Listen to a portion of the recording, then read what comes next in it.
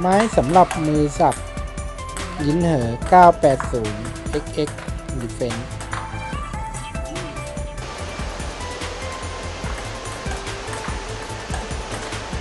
ไม้ยินเหอ 980 XX ตัวนี้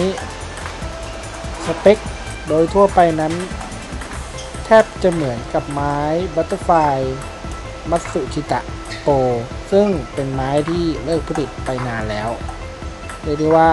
ไม้ยินเหอตัวนี้เนี่ย เป็นไม้ที่เหมาะสำหรับมือสับมือรับยางเม็ดอย่างแท้จริง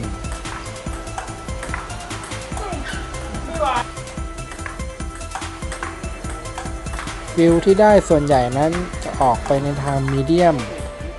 แล้วก็หน้าไม้นั้นให้ feel ที่ออกไปในทางแข็งซะมากกว่า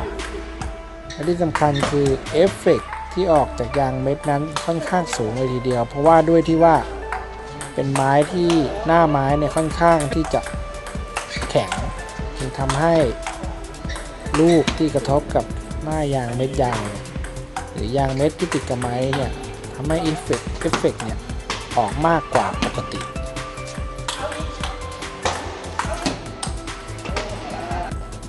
ในแง่ของ การบุกนั้นไม้ตัวนี้เนี่ยค่อนข้างที่จะแรงเลยในการบุก ส่วนในการรับเนี่ยก็สามารถรับและควบคุมลูกให้อยู่ในโต๊ะได้ดีเป็นพิเศษ ในการบุกนั้นแรงจะออกไปในทางออฟลบเสียมากกว่า ซึ่ง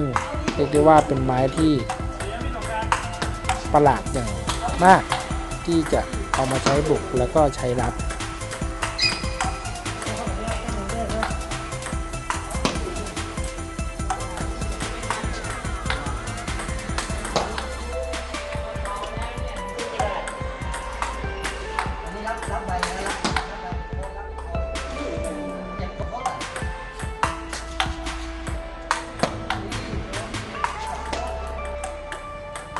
ใครที่กำลังหาไม้สำหรับมือสับใช้ในการติดยางเม็ด ผมแนะนำไม้ตัวนี้เลยนะครับผมยินเหอ 980 x เรียกว่าเป็นไม้ที่มือสับเนี่ย หลายๆคนเนี่ยกำลังตามหาอย่างแท้จริง